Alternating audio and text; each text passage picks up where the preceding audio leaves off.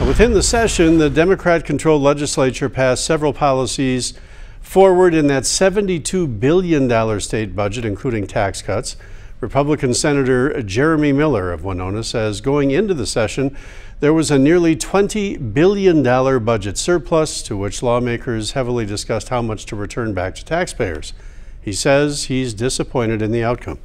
They actually increased taxes and fees here in Minnesota uh, by about $9 billion. And at a time when you have uh, nearly $20 billion surplus, uh, I just don't see a need to uh, increase taxes and fees like that. So overall, it was it was pretty disappointing.